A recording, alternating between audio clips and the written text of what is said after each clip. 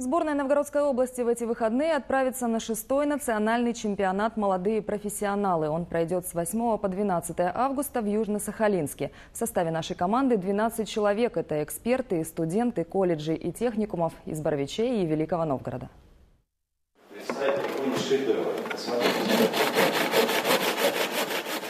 Третьекурсник Анатолий Семененко запиливает элементы. Последние часы тренировок перед стартом путешествия в Южно-Сахалинск. Там юному новгородскому профессионалу предстоит показать свое мастерство в сухом строительстве и штукатурных работах. Я готовлюсь, к примеру, по 8-9 по часов в сутки э, всю неделю.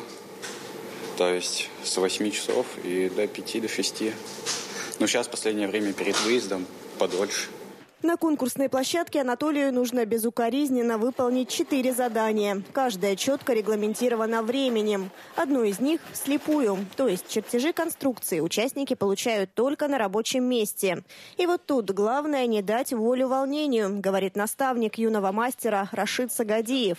Сложно собрать и домашнюю заготовку. Элементы знакомы, но времени всего два часа.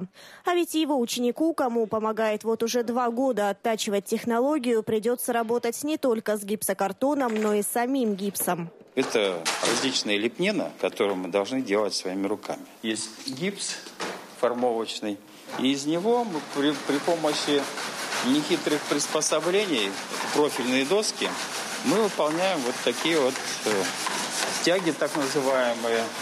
Это у нас пилястра, база и капитель.